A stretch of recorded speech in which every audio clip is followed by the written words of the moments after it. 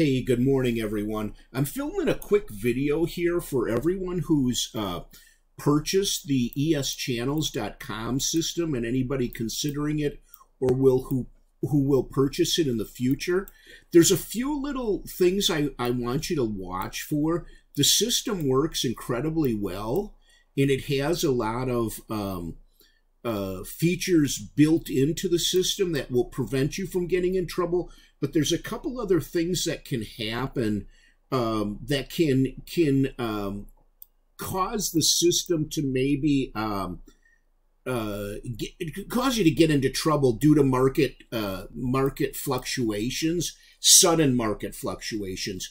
Overall, uh, the ES and the MES obviously uh, they tend to trade on a more slow um, uh, as far as the ups and down movement than than what the Nasdaq is, considerably slower.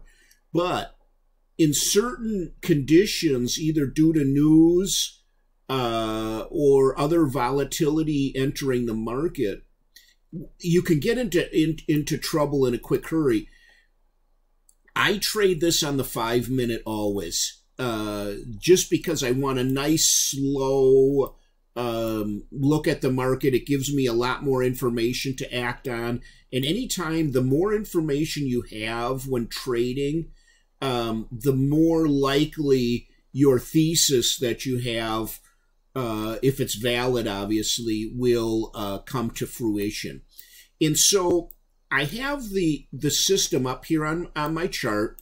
It's these green, it's the blue center basis line, and then the green, yellow, and red above, green, yellow, and red below. And you can see here, I just picked a random date. We're looking at, uh, what is this, Wednesday, September 24th, and we're starting a couple hours pre-market. And I just want you to observe a couple of things. Under normal conditions, these lines will run parallel to each other, nice and straight and uh, no, no major slant. This, is these are the conditions we like to trade on. Anytime volatility is introduced, you'll see we can get these little glitches. See how this line kind of bounces up and down? That's as a reaction to volatility and price movement. And these bands will separate out further than than than you know just here you can see how consistent, but you can see here how they separate much wider apart. So this was okay, this was the market open on Wednesday, the 25th of September 2024. And so anytime you get the opening candle, this is a five minute chart, remember, you're going to get volatility because there's a lot of orders resting out there and people are excited to start trading and the institutions have to start, you know, trading their portfolio and hedging and what other, all the other things they do. So you can see here how this, this kind of, this is an up candle, so this reacts accordingly and then it will settle down hopefully as price movement settles down. So you can see here, here, and remember, I'm just going to fast forward here till, uh, what is it, around 11 o'clock. You can see that the market is starting to fall off, okay? Starting to go down a little bit. And you can see how these lines are starting to just come down just a little bit. Now, that's not a problem. What I'm talking about is when the environment we don't want to trade in when these become really dramatic. And now, whether uh, I'm going to come across, I'm going to keep going forward to show you some of these different market conditions, what to look for and what to stay away from. So you can see here, price movement starts to, to come down. We're now at uh, 1 o'clock in the afternoon. And you can see here, this candle here wicks through the green line. Now that would normally trigger a, a, a, a buy order in this case, but when we get a candle like this that has this huge downwick where they're just sweeping liquidity, that is not enough to trigger. What we want to see is something like we see in this red candle right here. Price action is coming down, coming down, and then this candle now drops us below the green line, which triggers. Now, remember the the the uh, mechanical rules for this say once we get a candle that pierces that line, this was just a wick, this is an actual candle body, we enter on the next candle, okay? So this would be an entry candle right here. We, when we're below the market, we go long. And so what we would do is we would um, enter along, we would buy the market, okay, on this candle here. We would put our take profit up here at the blue basis line, and we would put our stop loss down here at the red line. So at that point, uh, where was our entry? Okay, this is our entry candle. Depending on where we entered, we'd be approximately looking at about a 13 and a half point profit target with about a 20 point uh, stop loss. Okay. So a little under, uh, about one and a half to one approximately. The MES trades at $5 a point. And so what we're looking to achieve is anywhere from 50 to $100 per trade. If we went to max profit on this, we'd be looking at $80, which is right where our, our target uh, profit margin is. So you can see we enter here. The I'm just going to put an arrow there, and then I'm I'm just I'm not going to go through every trade this detailed after this one. Um, okay, put right there is where our entry was. Uh, but I I want to show you some different market conditions that happen. So we get into the trade here. The market starts to reverse. It goes up, but it doesn't quite hit our profit, comes back down. Now, here's another thing to watch for. Let me get a vertical line here. Vertical line. And I'm going to put that at 1700, which is when the market closes in my area. We need to be out of the trade by this time, okay? Otherwise, um, our brokerage or prop firm is going to close at a, that trade for us. So when this starts, I don't know if it hit on this candle, but what we would do is as we're getting closer and closer to the end of the day, and we saw a candle like that, we would definitely get out. I mean, we're not gonna gonna sit around and risk this thing coming back down or the the the brokerage closing it out uh, for us. So in this case, say we entered at exactly the green line. Oh wait, or did it touch right here? No, just about. So we'd get 11 points uh, approximately, depending on what. Let's just say 10 points. So we'd end up with a $50 credit for that. Okay and the uh, never never threatens to go down and hit our stop loss. So now we go into the next trading day. We don't now. Here's exactly what I'm I'm talking about. Now see here how these lines are not horizontal like these are. Look at how this is starting to increase. First of all, we wouldn't be trading this early in the day, but can you see the incline these bar these these are taking? We're not going to trade in that environment, okay? We're just not. It's just too risky for this particular system. This system is all about low risk, not high risk, okay? And you can see here what happens here again. This is the market open and you can see how we are up here, we come down, and now we have the market open. We get a little bit of a glitch, and now things are starting to settle down. So we can start to consider getting into a trade. Okay? So here again, we come down. It's now 10 a.m. We come down. This particular candle closes below the market. So we enter on the next candle, which would be this one stop loss here, take profit here. Trade continues, five minutes on each of these. Now, here, um, got the wrong thing. Let me go get it. I just want to highlight this area right here. So we entered here on this candle. We've now gone almost an hour into the trade, and you can see this particular candle gets within,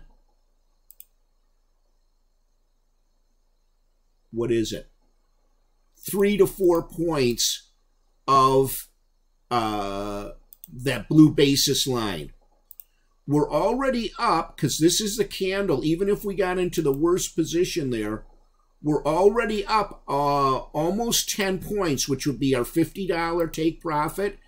Anytime it gets that close after that period of time, you have the ability to close that trade. You don't have to, but what I'm saying, the longer you stay in this trade, over, say, an hour, the more likelihood it is is that this market could then reverse on you. Okay? Not saying it always will, but there is a good chance. Now, the market ultimately did get up to this blue basis line and you'd have got a full credit here. But is it worth the risk of waiting uh, another hour and a half, two hours just to make 10 or $20? For me, it's not. You're going to have to determine whether it is for you or not. Okay? So we continue on. There's the end of the trading day. You can see there. So we're now into Thursday, the 26th of September. See how these lines have settled down and we're getting some really nice flat price action. Okay. We go in. Now we're on the 27th. Nice flat price action. Okay, here there was a news event. We got up, we triggered, and this bar did close it, so we'd enter, market open, would have closed right here for a nice profit. In this case, it would have been. Uh, oh, I'm gonna, I'm just going to call it. It's it's 9.75 points technically, but you know, let's just call it 10 points. So $50. And then we came back up, touched it, came back down. And then look what happens. The market actually goes down. These are shorts. Remember, when you're up here, you're shorting. When you're down here, you're going long. So it's coming down, touches, enters. We come here. Here again, that almost it comes within, you know, like a point, maybe yeah, a little over a point, you're taking profit.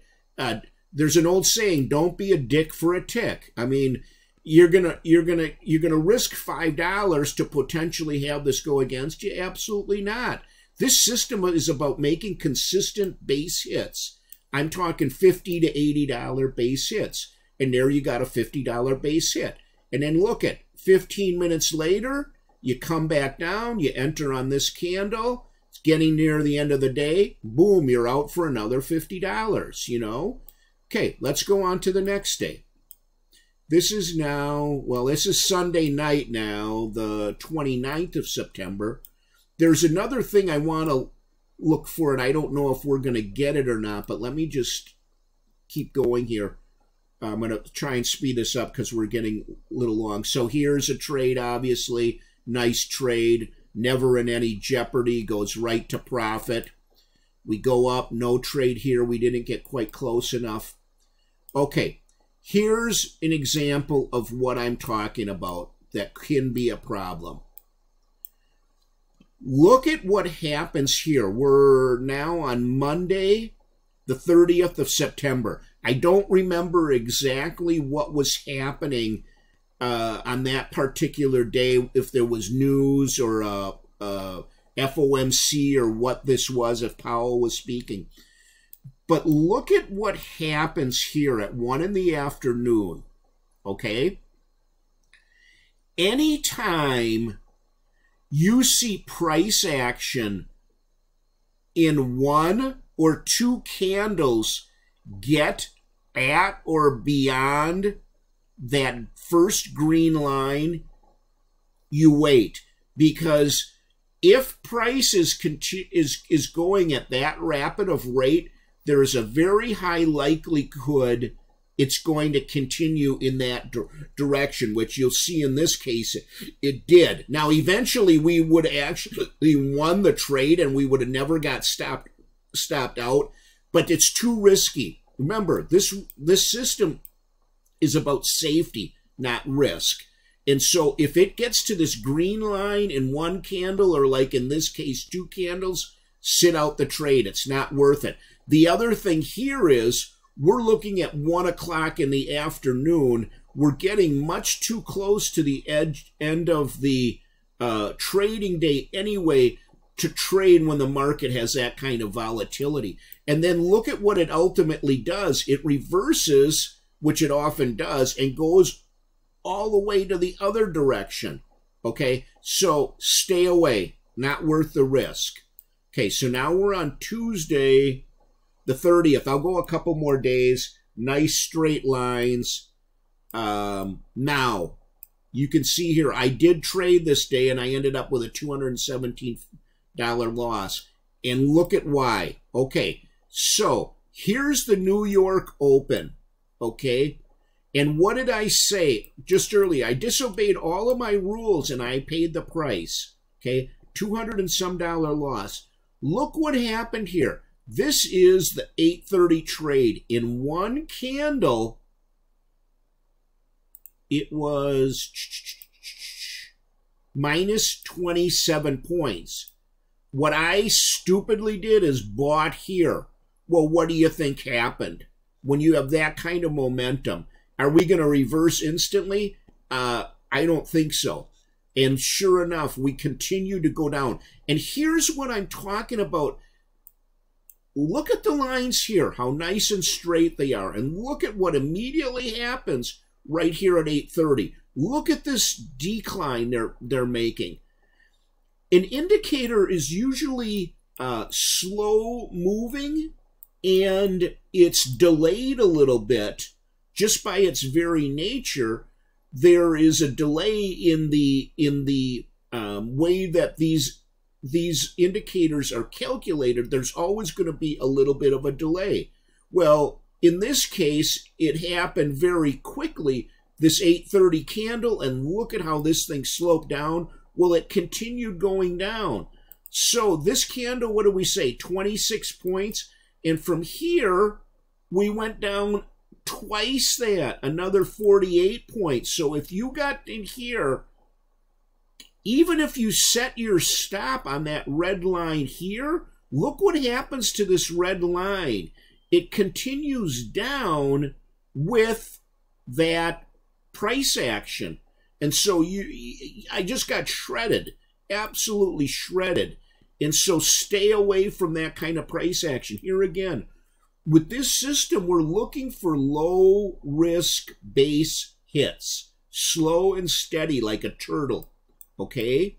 Now, price action did settle down as we got a little later into the day, but it's still, you still want to trade with caution. You can see here, none of these trades got near the red line. Um, technically, let me just see here. Once we got back up here, here's where we closed below. So we would have entered on this particular candle and we would have been in jeopardy for a lot of the trade.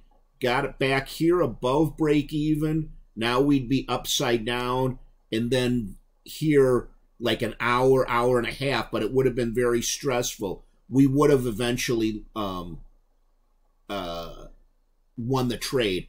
And then you can see price action responds. So technically, you could take a trade here, which would have won, However, remember, if you take if you enter a trade, because now we're at uh, let's see, 12, we're at 1.30 in the afternoon. That would be about uh, when I would say 1.30 to 2 o'clock, somewhere in that. I would not enter a trade after that, just for fear of closing it out. In this case, it worked out beautifully.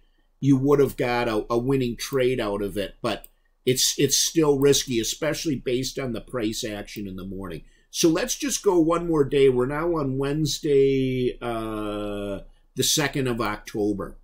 Nice, nice lines here. And you'll see this is one in the morning. We're actually getting some really nice. And look at how, I mean, these lines here are based on some important levels that institutions trade off of based on the deviation from this basis line. And you can see how very often these lines, now these lines are not painted based on the chart. They're there before this, this happens. They're, they're being printed. And you'll notice how price action got right to the line. So this would have been our entry, you know, maybe an hour, I don't know. Boom. Price goes a little above, but then look what happens. It retreats. And look at right to the line, a couple of wicks through. Boom. So there's one winning trade, two winning trades. Now here, look what's going to happen here in a second. This was pre-market. I'm, I'm, I'm looking at this now and I'm wondering what's going on. Here is market open. And remember what I said. If price gets to that, now this would have actually been a winning trade very quickly. It's still dangerous because you don't know if this is going to continue on like it did a couple days prior to this. In this case, it would have been a beautiful trade, but we don't know that, so we can't risk it. Okay? We just, not with this system. We just don't. If you do, you're on your own. But just know, keep your, keep your stop loss in place. Now, in this case, the stop loss, because we would have got in somewhere around here, it would have been approximately an $80 risk per contract uh, with a nice reward. So in that case, well, I'm not going to say do it or don't. I'm saying stick to the rules. And so we come back up, we enter a trade here, continues, never gets beyond that second. Look at how it respects these levels. And boom, there's another winner. Gets up, actually touch that line. Now you can decide whether you want to enter on just a touch of a wick or not, but boom, you got another winning trade. So th this system is, it's, it's, it's, if you follow the rules, it's it's it's very very a beautiful system. So look at boom, never even gets to the yellow line. Winner, winner quickly, winner quickly. Be aware of these big candles. So here, this would have been a no-no because look at we got there in one candle. So technically, it's a no-no. Okay, same here. We got there in almost one candle. They're winners, but you know you can go the opposite way. Boom, enter, winner. Boom, ugh, very close. Enter, winner. I mean, it, it, it's a beautiful system. Boom, touch, enter, winner. Not much the rest of the day. It's too late in the day to trade. Okay, so I think you get the gist of it. Okay, and here's an area to stay away. Look at how these lines are getting all garbled folks, you don't need to be in every, okay, with this system. If you want to trade price action like this, that's fine. But trade it using a different system. You can trade this on the side of your primary system. This was not designed to be your primary system, even though it can turn into that. If you trade this correctly and are copying over enough accounts, this can turn out to be a primary system with very look at how it respects these levels. Absolutely insane. It's it's it's really a neat system. So here, you know, don't trade this system under these conditions. If you want to go scalp with the AccuTrader or your other systems or price action systems, go ahead. But not this one. Keep this one. Follow the mechanical rules. Overall, you're going to be, I have a huge profit factor with this, and you're going to have a lot of winning trades and end up making a lot of money. This was actually, oh, I didn't realize now we were on Friday. Friday was a killer day. Thursday was a killer day for me. This day, on Friday, if I wouldn't have been so stupid and took a, a trade when it hit this line at 2 in the afternoon, broke every rule, and then I, I, I don't know, I it was stupidity. I was up 300 and some dollars at this point. Why I didn't shut it down? I mean, it's Friday afternoon, and I had been getting interrupted all day. I had an appointment with a contractor. I had some other appointments I had to make, phone meetings and stuff. And so then I go ahead and enter a trade here and ended up losing 50 additional dollars that I didn't have to lose. So follow the mechanical rules. It's a winner, okay? There's there's no reason to risk. And here, if you're up 300 bucks, shut it down. I mean, I can tell you that greed is my worst um, flaw when it comes to trading. Okay, I I just if I'm a winner, I just want more, and it will cause you to do all kinds of stupid stuff. Trust me. Okay, save your money, follow the system, and you'll be uh, very successful. Any of you have any specific questions? Just message me if you want to see me make any specific videos. I am trading this daily. I am recording all of my statistics, all of my entries and exits and I am trying to post a video daily. If not, I have all the statistics recorded to show anybody that has any questions on specific trades, specific days. Everything is being recorded. So um, the system works. I've tested it over various market conditions. And as I'm doing more testing, I'm I'm learning uh, what to stay away from, what can get you into trouble, and what you want to watch for. So, thanks everyone. I really appreciate all the positive feedback I've been getting. I appreciate negative feedback. Hey, constructive criticism can only make you better. I have very thick skin.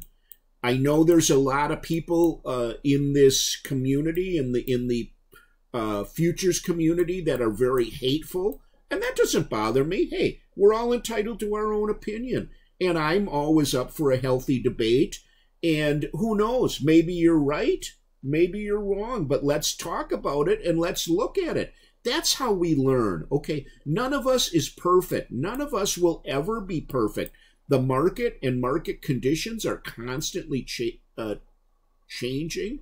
I'm hoping that anybody watching the video, we're all here to try and get better and try and extract market or money from the market, and that's our common goal.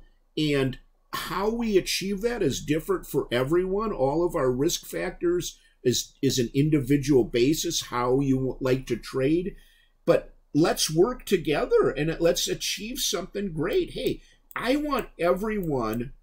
I've had so much so much uh, blessings in my life, both on a personal level and a financial level, um, and it's because I never sat still and just rested on my laurels, okay? And you shouldn't either. Always be learning. There's always going to be um, different opportunities presented to you. Take advantage of them. So, Coach Chris signing off. I hope this video was helpful to all of you. Bye now.